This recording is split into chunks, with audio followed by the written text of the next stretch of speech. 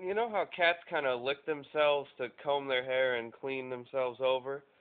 And when they're in a good mood, they'll lick each other and kind of comb their hair, kind of show their appreciation for the other cat.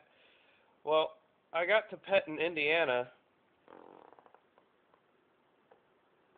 and she, um, I guess she really liked it because she ended up licking my beard, but she did it kind of backwards. I don't know if you can tell, but she looked it up, and it feels weird now.